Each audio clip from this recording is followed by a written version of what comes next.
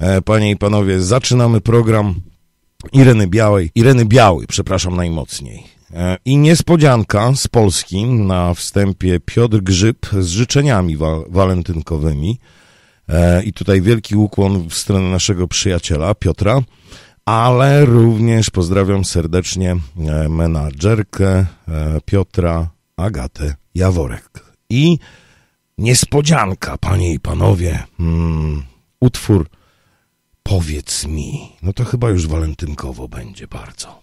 Posłuchajmy. Kochani, nie tylko w dniu walentynek, ale tak w ogóle chciałbym życzyć Wam wytrwałości, wyrozumiałości, wszystkiego tego, hmm, co jest potrzebne, aby w związku trwać. Idźcie razem jedną drogą, bo miłość jest najpiękniejsza. I tego wszystkiego życzę Wam Piotr Grzyb i zespół Zupa Grzybowa.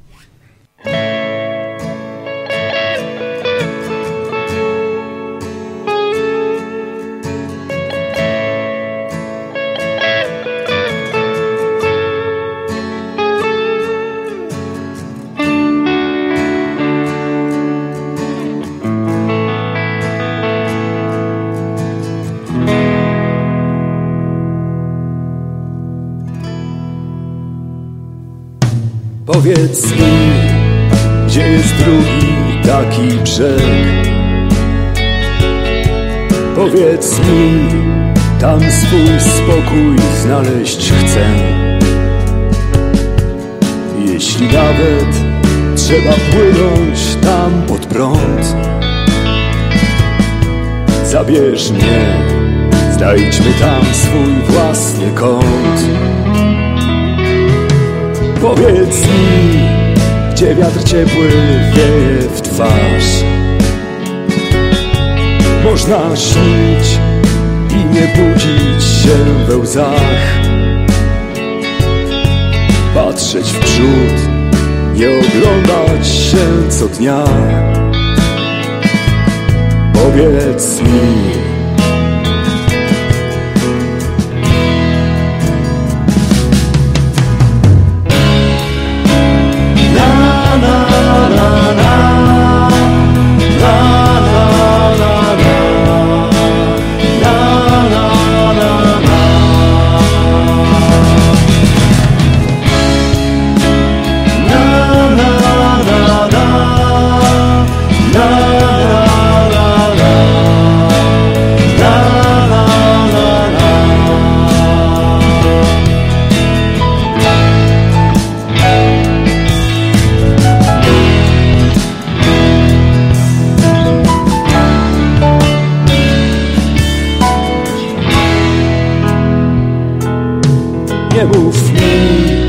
Przestań marzyć, zacznij być.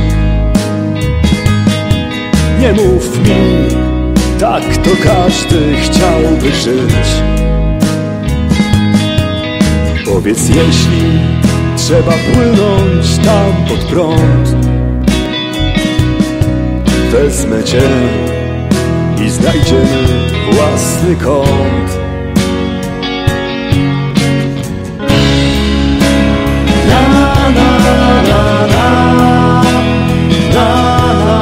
Na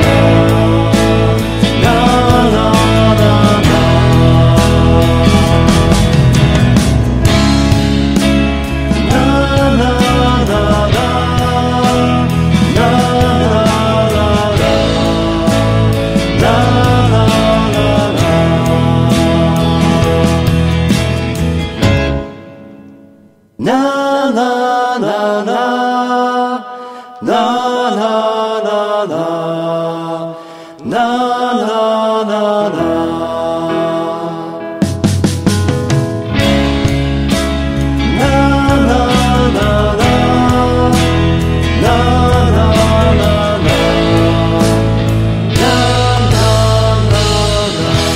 Tak jest, panie i panowie, to premierowo Piotr Grzyb z zupą grzybową, a z nami Irena Biały. Dzień dobry, witam serdecznie pani Ireno i na wstępie chcę powiedzieć, że i niech sobie będą wszyscy mądrzy ze swoimi rozumami, a ja z moją miłością niech sobie będę głupi.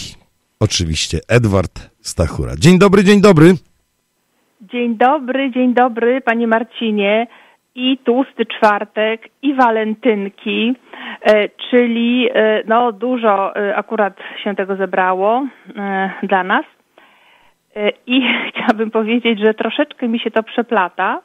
Natomiast bardzo panu dziękuję, bo właśnie wczoraj wieczorem wysłał mi pan cytat z Siekierezady Tak. Edwarda Stachury, tak, który dotyczył miłości do gałązki jabłoni, prawda? Ulubione określenie. Pani Ireno, można by było stworzyć audycję poetycznych określeń swoich ukochanych, em, miłosnych określeń partnerek. Nie wiem, no ale gałązka jabłoni jest dla mnie tak romantyczna.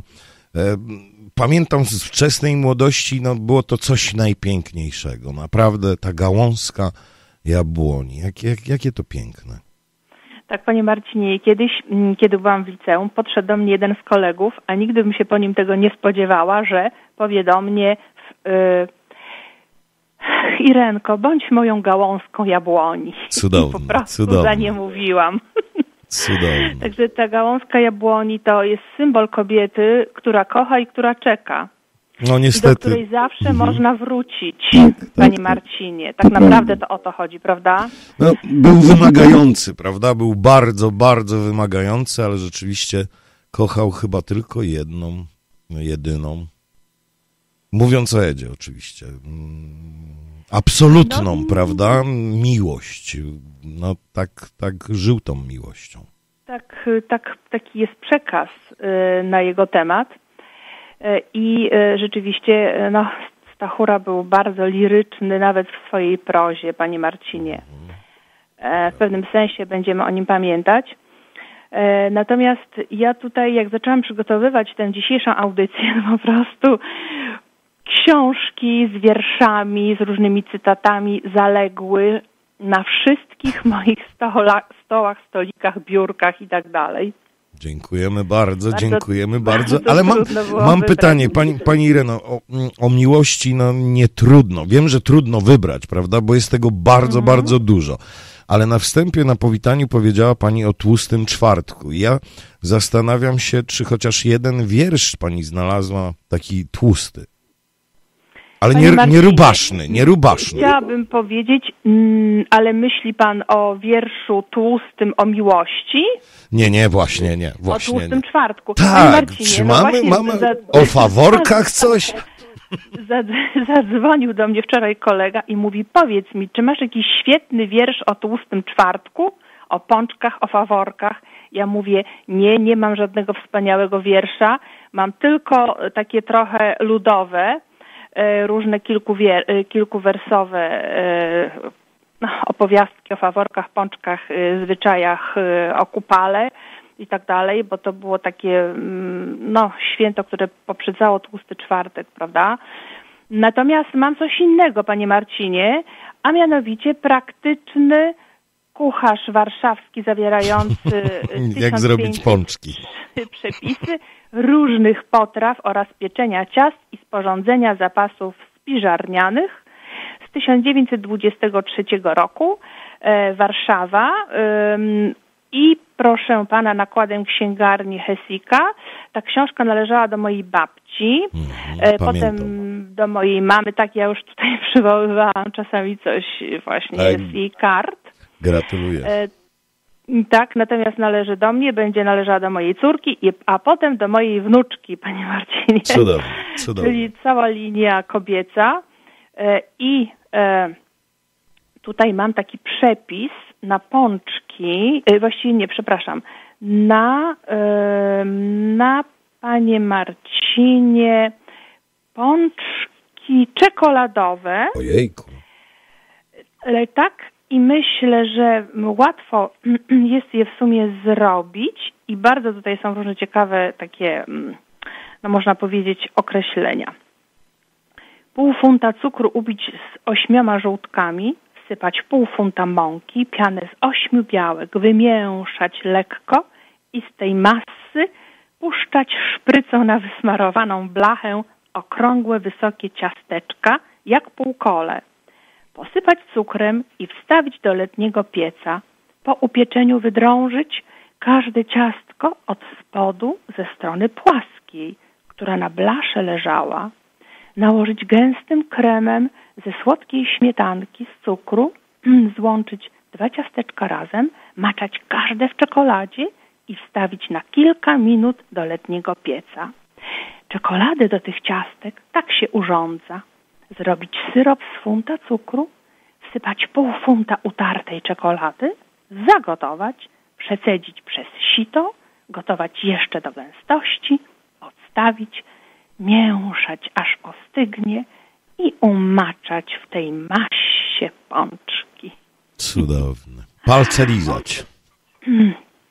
Palce lizać, ale jak myślałam o mm, pączkach, chruście, chruścikach, faworkach, bo to zależy w jakim regionie kraju y, jesteśmy. Tak jest.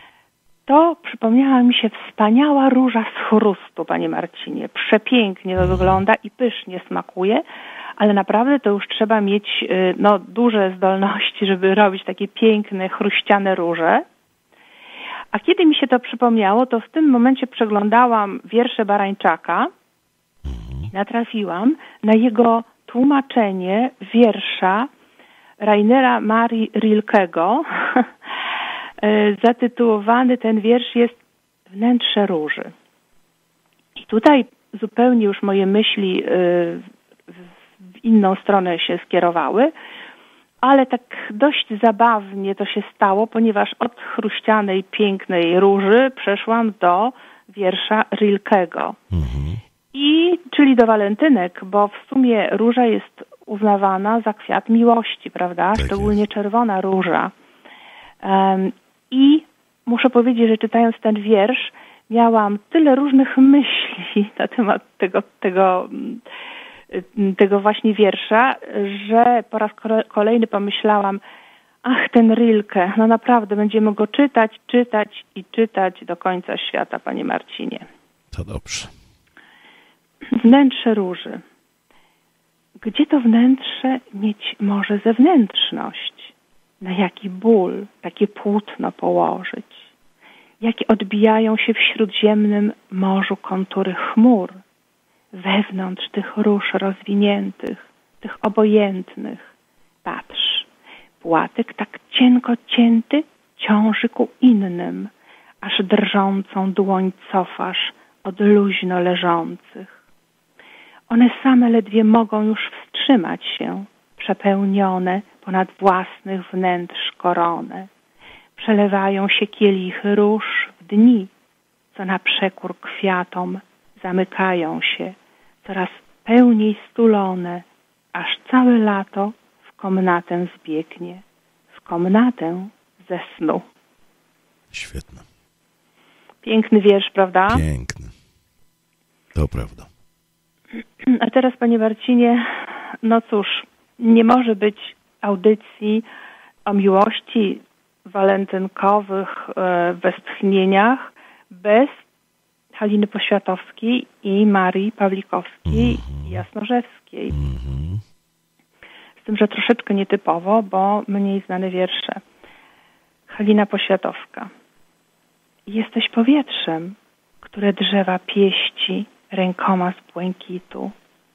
Jesteś skrzydłem ptaka, który nie trąca liści, płynie. Jesteś zachodnim słońcem, pełnym świtów, bajką ze snów, które mówi się westchnieniem. Czym ty jesteś? Dla mnie świeżą wodą wytrysłą na skwarnej pustyni, sosną, która cień daje drżącą osiką, która współczuje dla zziębniętych słońcem, dla konających Bogiem. Ty, rozbłysły w każdej gwieździe, której na imię miłość. Bardzo piękne. W jadowitym brzęku, szeleście traw, w niezdarnych skrzydłach pszczoły, miłość mieszka. W pocałunki ubrana, jak drzewo w krople rosnę. I gdy myślę o Tobie, to tak, jakby motyl trzepotał w dłoni, uwięziony i ślepy. A czas przyczajony poza mną do skoku, trzyma w wąsach źdźbło dzisiejszy dzień.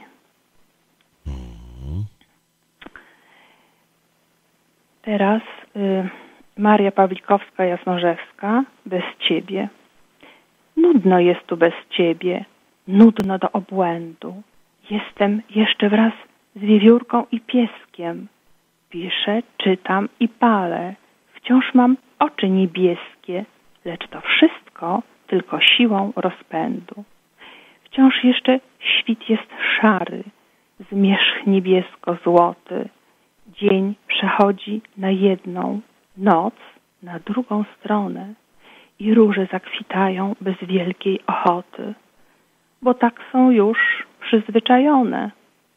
A jednak świat się skończył. Czy wy rozumiecie? Świata nie ma i ja go nie stworzę. Czas jest równy i cichy, lecz czekajcie, może, może ja jestem już na tamtym świecie. Teraz, panie Marcinie, Małgorzata Hillar. Wiersz zatytułowany Miłość, a te dwa poprzednie wiersze to była, mm, znaczy dwa wiersze to była mm, Halina Poświatowska, a ten ostatni Maria Pawlikowska-Jasnorzewska. Teraz e, tytuł Miłość. Małgorzata Hillar. Jest czekaniem na niebieski mrok, na zieloność traw, na pieszczoty rzęs, czekaniem na kroki, szelesty, listy, na pukanie do drzwi, czekaniem na spełnienie, trwanie, zrozumienie, czekaniem na potwierdzenie, na krzyk protestu, czekaniem na sen, na świt, na koniec świata. Doskonałe.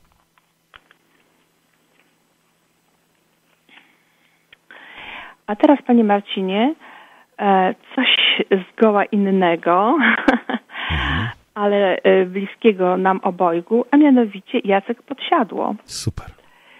I jego wiersz jest światłem. Tamta koszula z flaneli w kratę, ciemno-niebieska jak krew, rzucona na oślepiająco nagą żarówkę, by podkreślić nastrój, linię bioder, znaczenie niektórych słów. Miasto nazywało się Mielec. Następnego dnia rano zimowe powietrze wdzierało się pod koszulę wypaloną w niej dziurą. Minęło kilka lat. Ostre światło nie wywołuje już wstydu. Kobiety bywają tak samo oślepiająco nagie. Tamta koszula staje mi przed oczami, jakbym ją zdjął przed chwilą. Na prawym boku dziura o postrzępionych, brązowawych brzegach. Tędy przeszła miłość. Bardzo piękne. I miłość, panie Marcinie, jest napisana dużą literą. Prawidłowo. Prawda? Tak jest. Tak.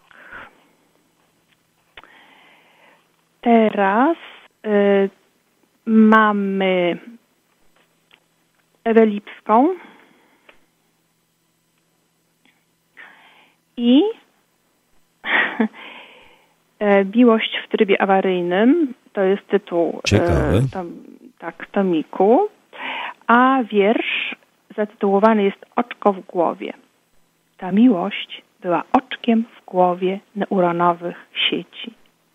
Zaręczynowe miasto na moim palcu przeżyło trzęsienie ziemi. W kuchennych huraganach dyszała konfitura z płatków róży.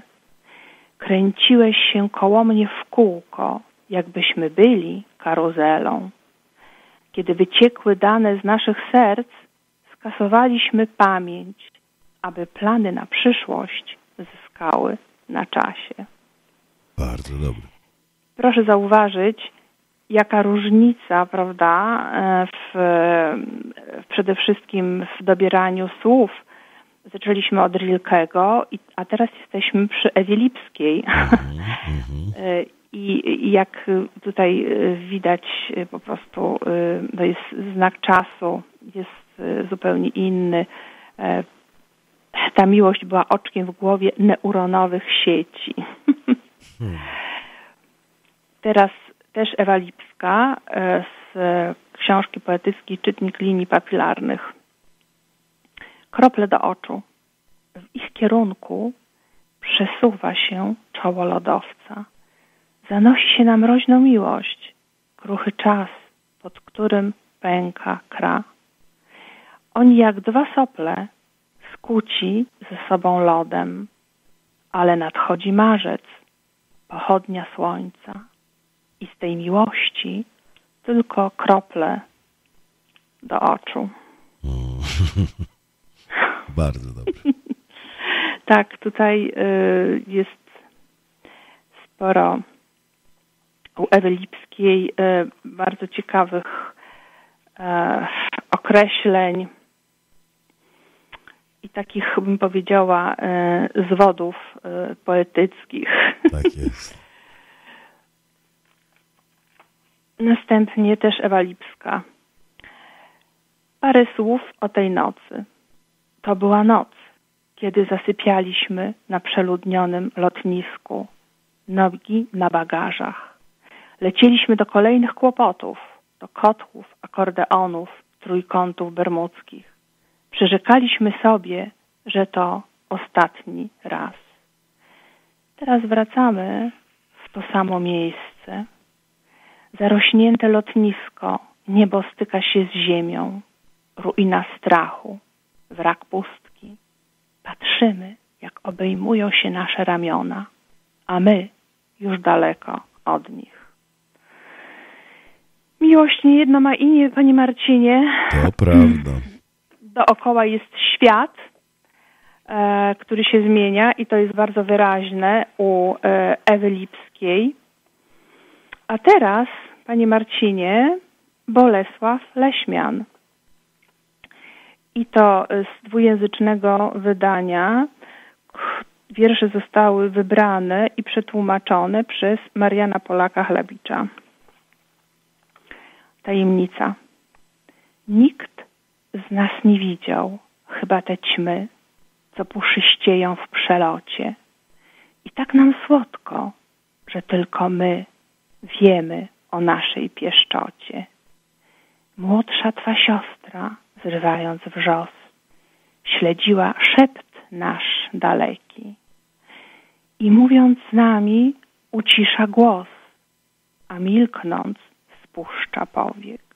Hmm.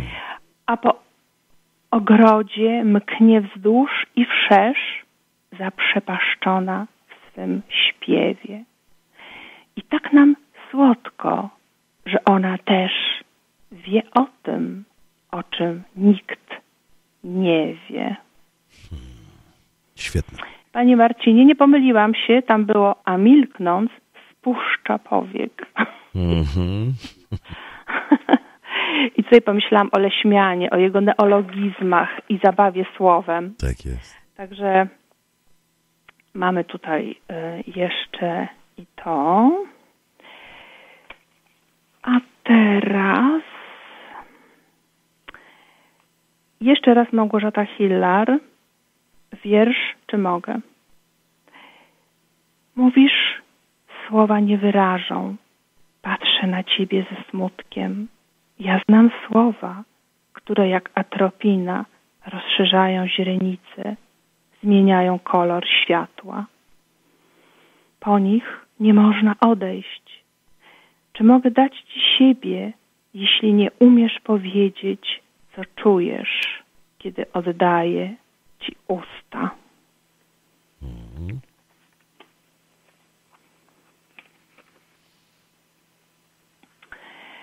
I Panie Marcinie, znowu y, Halina Poświatowska.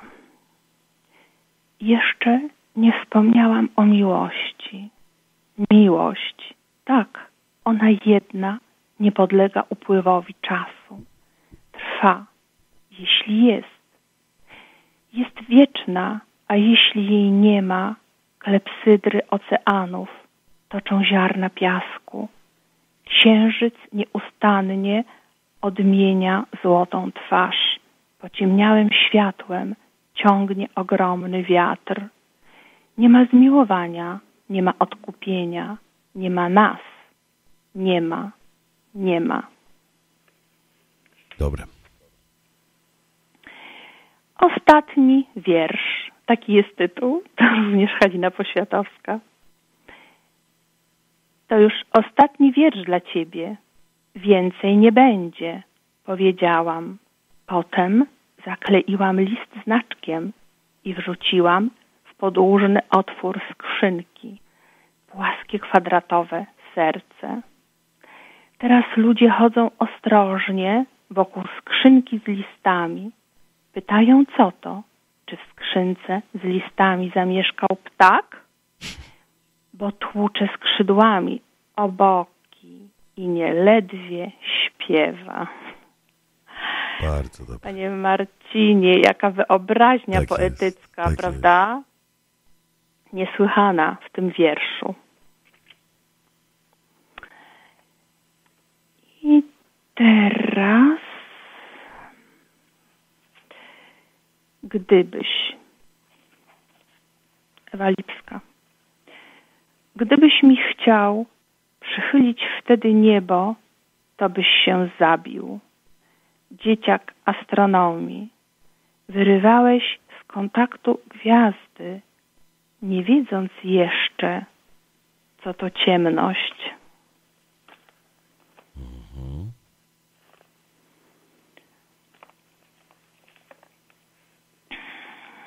Chciałam teraz jeszcze wspomnieć, Panie Marcinie, o takiej bardzo przyjemnej sytuacji, a mianowicie Ostatnio przysłała mi swój, swoją e, książkę poetycką wydaną w grudniu, czyli praktycznie, Panie Marcinie, jest to ciepła bułeczka w sytuacji pandemii. Absolutnie świeżo.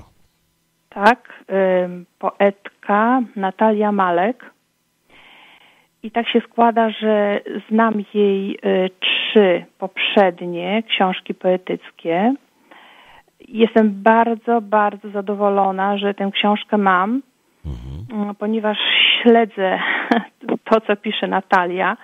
To jest y, bardzo y, szczególna poetka. Ona trochę szyfruje y, swoje wiersze i dlatego konieczna jest z nią rozmowa na temat tych wierszy. Natomiast bardzo mnie e, one intrygują i zawsze bardzo chętnie rozmawiam z Natalią. Natalia zresztą też e, przekłada z języka angielskiego wiersze i przełożyła i nadal pracuje nad przekładami w, poetki, która otrzymała literacką Nagrodę Nobla, czyli Glick. Mhm. Także y, no, Natalia jest młodą poetką i też młodą tłumaczką. Natomiast y, bardzo mnie zawsze y, ciekawi wszystko, co ona robi, ponieważ no jest to według mnie osoba, która wyróżnia się, jeśli chodzi o spojrzenie, o warsztat literacki, poetycki.